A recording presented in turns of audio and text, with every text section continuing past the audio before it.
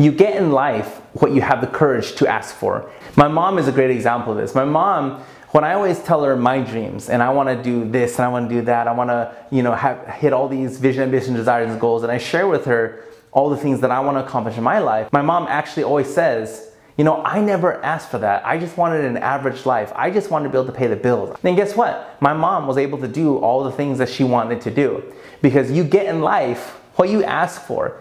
So if right now you're thinking that the lifestyle that you live, it wouldn't make sense for you to become a millionaire, right? So if you make $30,000 a year right now, and you're not thinking, I want to become a millionaire, you never will be. If you make $30,000 a year right now and say, I want to become a millionaire, now obviously there's a lot of work that's going to have to coincide with this ambition, but you have to know that if you have the courage to ask for it, it starts there. If you have the courage to ask for it, I'm hoping you have the courage to work that hard. I'm hoping you have the courage to want to find the knowledge. I'm hoping you have the courage to find a mentor that can walk you through the basic fundamentals on how to get to that answer. Because if you do, you will and can absolutely get there if you allow yourself to get there. But if you're not even open minded, if you're not even asking for it, it's never going to happen. Anyone who's ever accomplished huge things is because they've asked for those things to happen for them.